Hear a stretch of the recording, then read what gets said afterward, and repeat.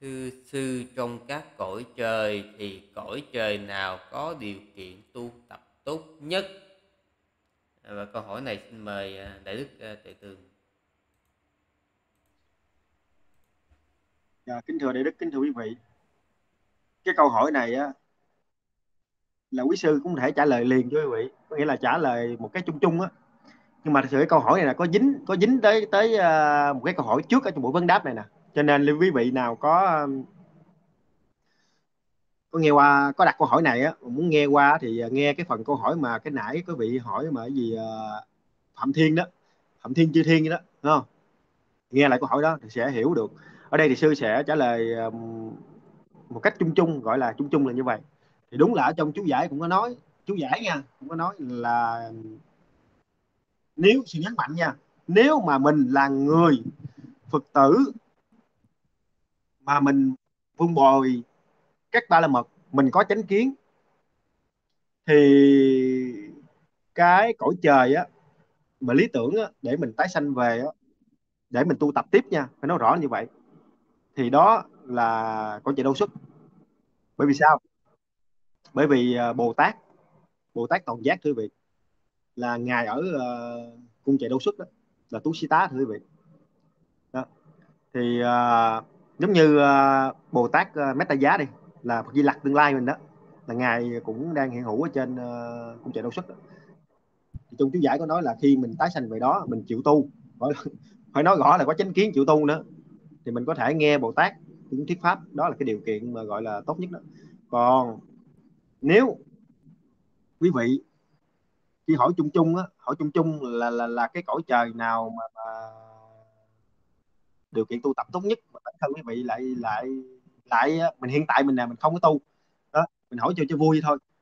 Thì nó thẳng luôn không có cõi trời nào mà tốt nhất chứ hiện tại đây là tốt nhất nè. Hãy cố gắng nỗ lực tu tập. Và cũng uh, xin kết thúc câu trả lời này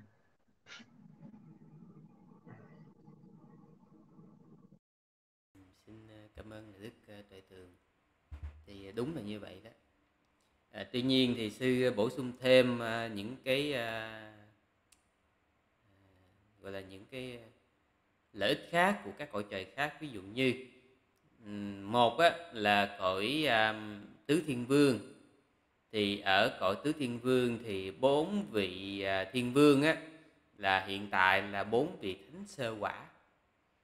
Thì nếu như mà mình à, ở cái cõi này á ở cõi tứ thiên vương thì một là mình có thể gặp bốn vị này tùy theo là vị nào đang cai trị mình có thể gặp. À, để mình à, học hỏi à, mình có thể học pháp với à, tứ thiên vương. Hai là mình à, hoàn toàn có thể tiếp tục à, quanh quẩn ở cõi người để mà hộ độ tam bảo. Bản thân nó cũng là cái phước phước rất là lớn. À, như sư quên mất tên của vị này rồi. Thì à, khi ở trong kinh đại bát niết bàn ấy à, vị này à, khi đức phật mà đang nằm ở kusinara thì vị này đứng hầu quạt cho thế tôn. Thì thế tôn nói à, sư quên mất tên à, thì hãy đi, đi đi đứng qua một bên một bên. Thì ngài ananda ngài mới nói là bạch thế tôn tại sao mà vị này là một vị rất là khả kính mà bây giờ vào cái à, đêm thế tôn nhập niết bàn rồi vị này đứng hầu quạt mà thế tôn lại nở lòng nào bảo vị này hãy đứng qua một bên thì thế tôn mới nói đó là ananda có biết hay không?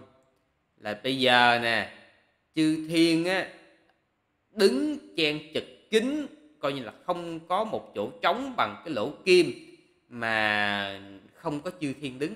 Chư thiên đứng chật cứng xung quanh. Và rất nhiều vị trời đang phàn nàn rằng à, vị à, tỷ kheo này nè là trắng mất tầm nhìn của à, chư thiên bởi vì á, với cái thiên nhãn thì chư thiên có thể nhìn thấu hết suốt tất cả các vật chất nha trừ đức thế tôn thôi. Nhưng mà đặc biệt là trừ loài người trừ đức thế tôn thì còn cộng thêm vị này nữa. Là chư thiên không nhìn xuyên qua thân của vị này được. Thành ra là vị này đứng che mất tầm nhìn thì chư thiên phàn nàn.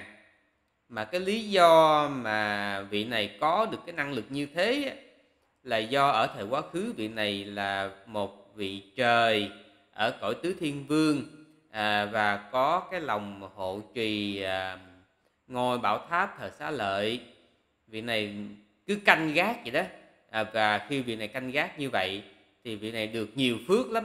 Mà một trong những cái phước là cái thân thể vị này á là được bảo vệ đến mức độ mà ngay cả chư thiên cũng không nhìn xuyên qua được à, cho nên là mình nếu như mình sanh về cõi trời tứ thiên vương thì mình hoàn toàn có thể làm vị trời à, hộ trì chánh pháp.